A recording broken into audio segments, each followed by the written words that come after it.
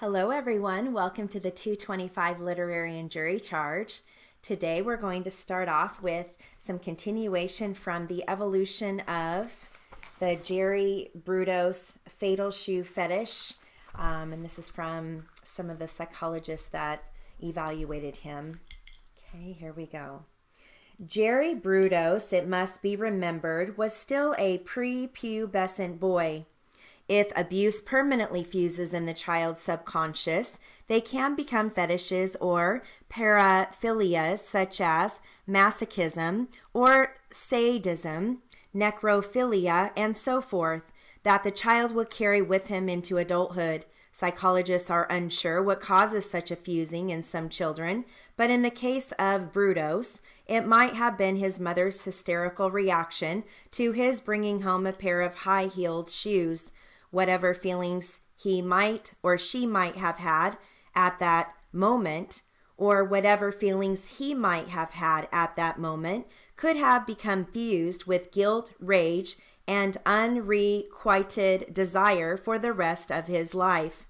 The unfortunate events that followed in his childhood could have prevented him from ever growing out of it. I do not want to make any kind of value judgment here on gender issues or alternative lifestyles or on what is normal or abnormal, healthy or unhealthy. Let us say, for the sake of argument, that basic normal development will lead a child and adolescent to gradually discover increasing degrees of affectionate contact with the opposite sex.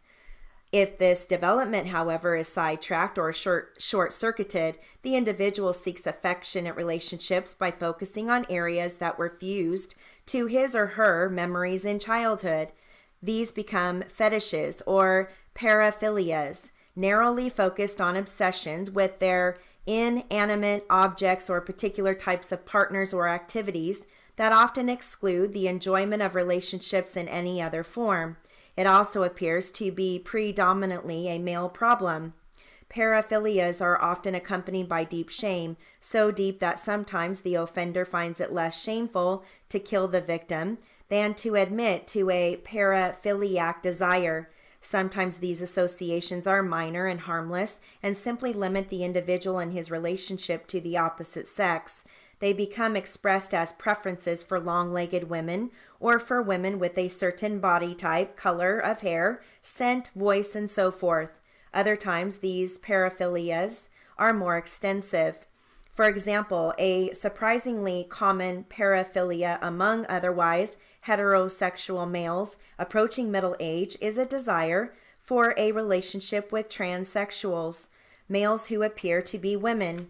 In many countries, Entire neighborhoods are sometimes dedicated exclusively to prostitutes of this category. Why?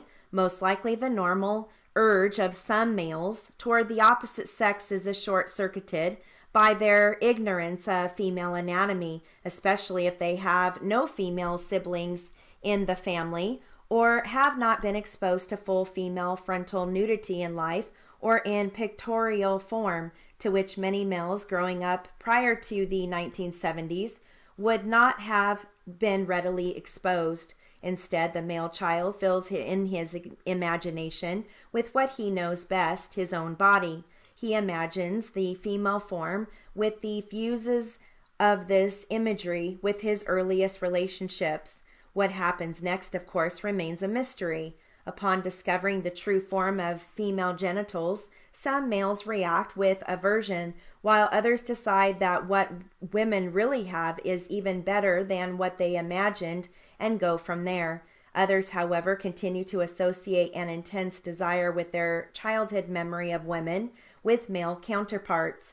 Paraphilias are powerful because they are so often linked to a primal awakening that is frequently not even understood, but more of an overwhelming mystery. Some individuals spend the rest of their lives chasing these dragons that they experienced in childhood, never coming close to replicating the original memory. In some cases, these associations are severe and debilitating, and sometimes dangerous to others. They can be fused with sadistic or necrophiliac tendencies or with rage and humiliation, especially in individuals who were abused as children. even harmless paraphilias can be given a dangerous edge under certain circumstances. Jerry Brudos had no opportunity for a healthy social environment and development, and his almost comic shoe fetish became a motive for horrific murders, while in others, a fetish for shoes would be a harmless quirk. In Brudos, it was streaked with feelings of hate, rejection, betrayal, anger, and frustration toward women. Brudos was a walking time bomb as he staggered into puberty, and it only got worse. Okay, so we're going to stop there. There is more, but I will read more of that in the next class. I'm going to read some jury charge, and this will be at 200, and then I'm going to reread it again at 225. Okay, ready? Members of the jury, evidence may be either direct or circumstantial. It is direct evidence if it proves without an inference, and which in itself, if true, conclusively establishes that fact. If it is circumstantial evidence, if it proves a fact from which an inference of the existence of another fact may be drawn. An inference is a deduction of fact that may logically and reasonably be drawn from another fact or group of facts established by the evidence. The law makes no distinction between direct and circumstantial evidence as to the degree of proof required. Each is accepted as a reasonable method of proof, and each is respected for such convincing forces as it may carry. The court may take judicial notice of certain facts or events. When the court declares it will take judicial notice of some fact or event, you may accept the court's declaration as evidence and regard as proved the fact or event which has been judicially noticed, but you are not required to do so since you are the sole judges of the facts. Okay, so I'm going to reread that again, but at 225. Ready? Here we go.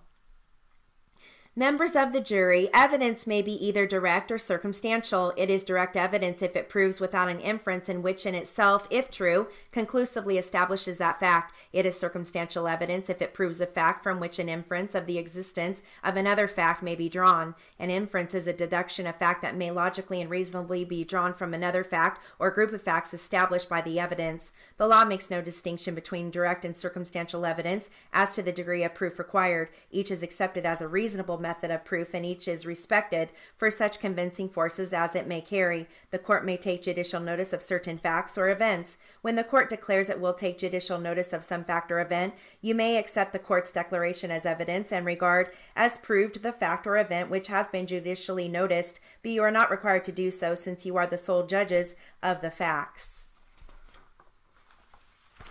Okay. going to read a segment from Don't Sweat the Small Stuff. And this is called Imagine Yourself at Your Own Funeral. Ready? This strategy is a little scary for some people, but universally effective at reminding us of what's the most important thing in our lives when we look back on our lives. How many of us are going to be pleased at how uptight we were?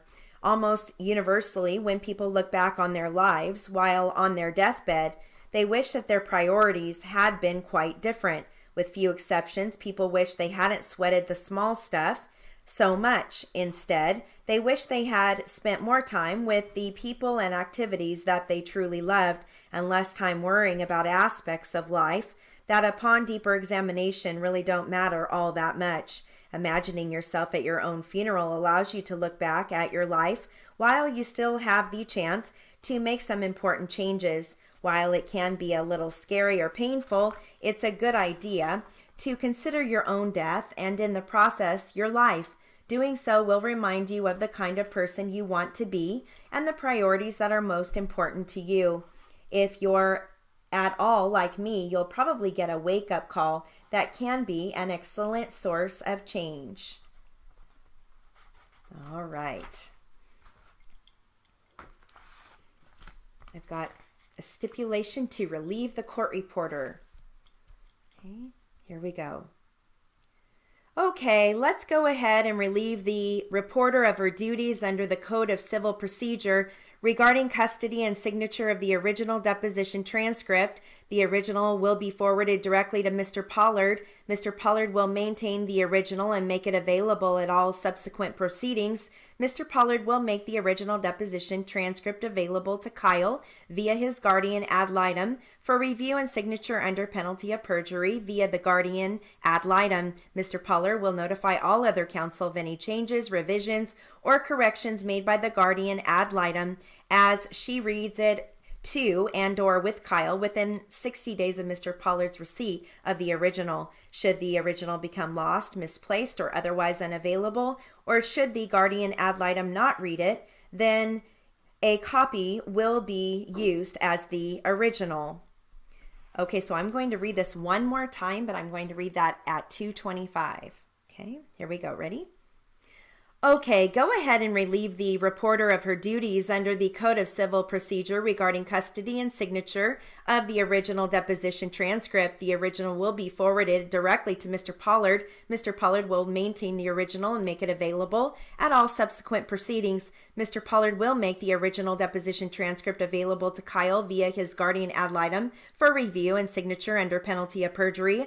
Via the guardian ad litem, Mr. Pollard will notify all other counsel of any changes, revisions, or corrections made by the guardian ad litem as she reads it to and or with Kyle within 60 days of Mr. Pollard's receipt of the original. Should the original become lost, misplaced, or otherwise unavailable, or should the guardian ad litem not read it, then and a copy will be used as the original. All right. going to read from Awaken the Giant Within. Here we go. Concerning all acts of initiative and creation, there is one elementary truth that the movement one definitely commits oneself, then providence moves too. If making decisions is so simple and powerful, then why don't more people follow Nike's advice with just do it?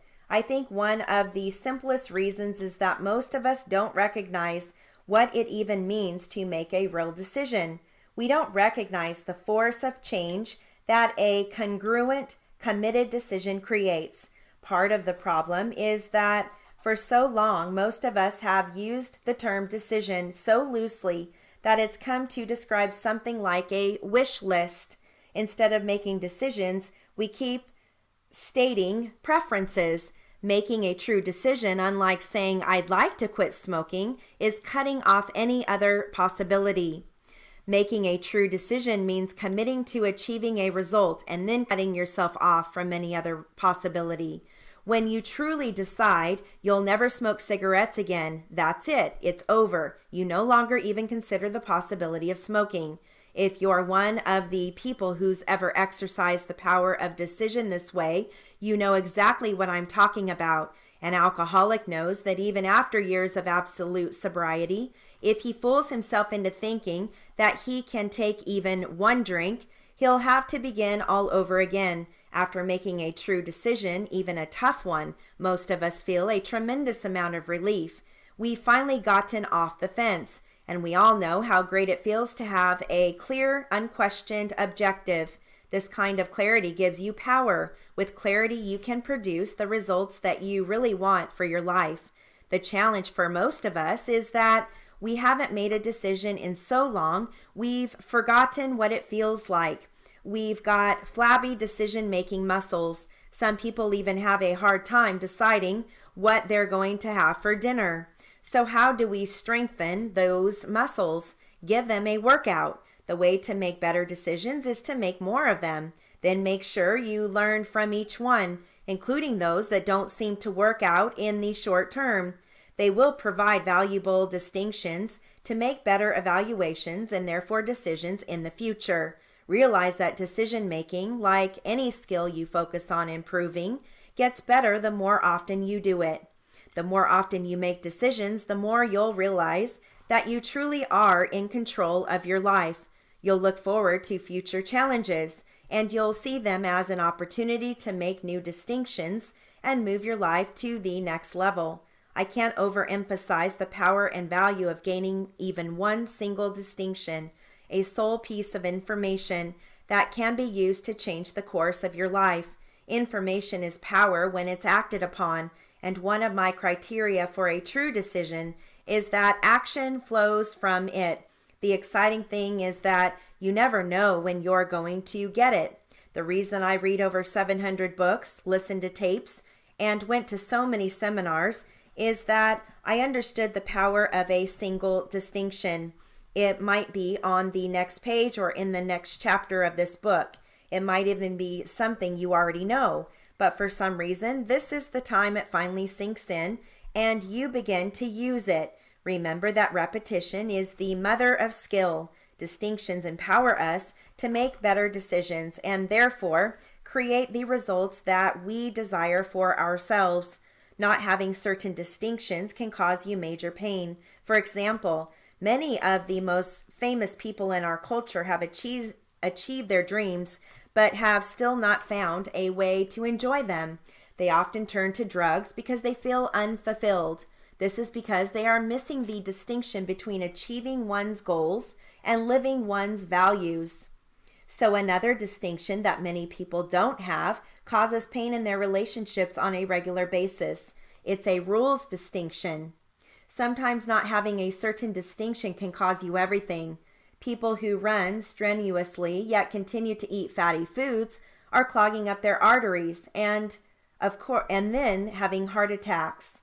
For most of my life, I've pursued what the famed business expert Dr. W. Edwards Deming calls profound knowledge. To me, profound knowledge is any simple distinction, strategy, belief, skill, or tool that the minute we understand it, we can apply it to make immediate increases in the quality of our lives. This book and my life have been committed to pursuing profound knowledge that has universal application to improving our personal and professional lives. I'm constantly figuring out how to communicate this knowledge with people in ways that truly empower them to improve their mental, emotional, physical, and financial destinies. It is in your moments of decision that your destiny is shaped. From Anthony Robbins, that is so true. Three decisions that you make every moment of your life to control your destiny these are three decisions that determine what you'll notice, how you'll feel, what you'll do, and ultimately what you will contribute and who you will become. If you don't control these three decisions, you simply aren't in control of your life. When you do control them, you begin to sculpt your experience. The three decisions that control your destiny are number one, your decision about what to focus on. Number two, your decision about what things mean to you. Number three, your decisions about what to do to create the results you desire. You see, it's not what's happening to you now or what has happened in your past that determines who you become. Rather, it's your decision about what to focus on, what things mean to you, and what you're going to do about them that will determine your ultimate destiny. Know that if anyone is enjoying greater success than you in any area, they're making these three decisions differently from you in some context or situation. Clearly, Ed Roberts chose to focus on something different than most people in his position would. He focused on how he could make a difference. His physical difficulties meant challenge to him. What he decided to do, clearly, was anything that could make the quality of his life for others in his position more comfortable. He absolutely committed himself to shaping the environment in a way that would improve the quality of life for all physically challenged people. I know of more encouraging facts than the unquestionable ability of man to elevate his life by a conscious endeavor. Too many of us don't make the majority of our decisions con- consciously, especially these three absolutely crucial ones in so doing, we pay a major price. In fact, most people live what I call the Niagara syndrome. I believe that life is like a river, and that most people jump on the river of life without really deciding where they want to end up. So, in a short period of time, they get caught up in the current. Current events, current fears, current challenges. When they come to forks in the river, they don't consciously decide where they want to go or which is the right decision for them. They merely go with the flow. They become a part of the mass of people who are directed by the environment instead of by their own values.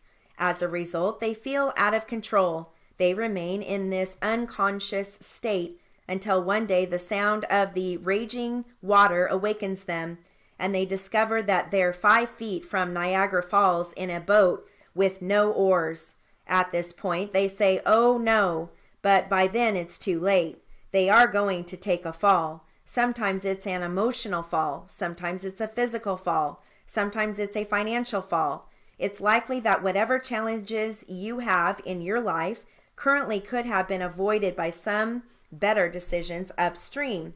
How do we turn things around if we're caught up in the momentum of the raging river? Either make a decision to put both oars in the water and start paddling like a crazy person in a new direction, or decide to plan ahead, set a course for where you really want to go, and have a plan or map so that you can make quality decisions along the way. Although you may never have even thought about it, your brain has already constructed an internal system for making decisions. This system acts like an invis- invisible force, directing all of your thoughts, actions, and feelings, both good and bad, every moment that you live. It controls how you evaluate everything in your life, and it's largely driven by your subconscious mind. The scary thing is that most people never consciously set this system up. Instead, it's been installed through the years by sources as diverse as parents, peers, teachers, television, advisors, advertisers, and the culture at large. The system is comprised of five components. Number one, your core beliefs and unconscious rules. Number two, your life values. Number three, your references. Number four, the habitual questions that you ask yourself. And number five, the emotional states you experience in each moment. Okay, that concludes our literary and jury charge for the day. You have a wonderful day.